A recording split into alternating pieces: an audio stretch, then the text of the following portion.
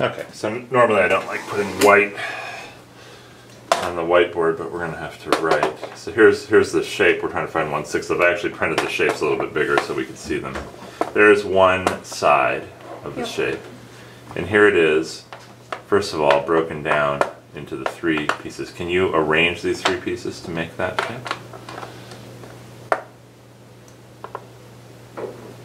There you go. Do you see that? Yeah. Okay. So what are we? How are we going to find the volume of this shape now? Well, we know that. So each length, like this side Uh huh. and this side, those are all a third. Right. Yeah. And then, well, so this is going to be two thirds of a third. Well, actually, if you just find the volume of this one, it's a third base times height. Okay. And the area, of the base is one ninth. Right. And the height height is a third. That's right. And it's also, um, you can see when the way you were putting it together before. And actually, sorry, I can't do it with the marker. But it's actually one third of a cube. Yeah. Each one of those. So we could say that these pieces together are two thirds of a one third cube.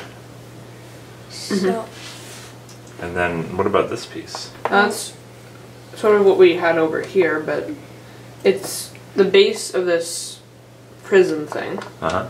It's an isosceles right triangle that is length one third. Okay. So it's one ninth times one third.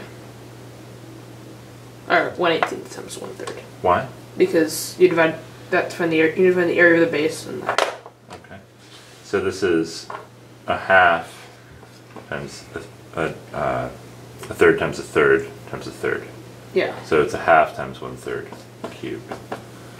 So it turns out we can write the volume of this shape as a half times one third cubed plus two thirds times one third cubed. Now we know that this isn't one third cubed. How come? Well, the volume? because it's if you had two of them, then it would be a cube. Right, If if you have two of them, it would make a cube. yeah, And we just have to multiply this by six, right? because there's yeah. And it may be that it's easier to multiply the six through first.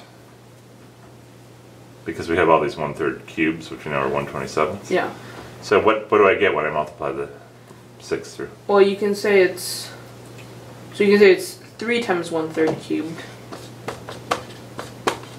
Plus four times one third cubed.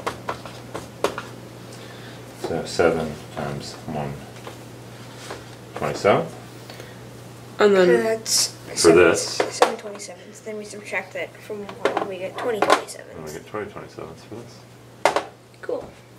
Yeah, that's a much easier way to think about it. I'm sorry I misunderstood you yesterday. That's that's a really cool way to think about it. Right, high five guys.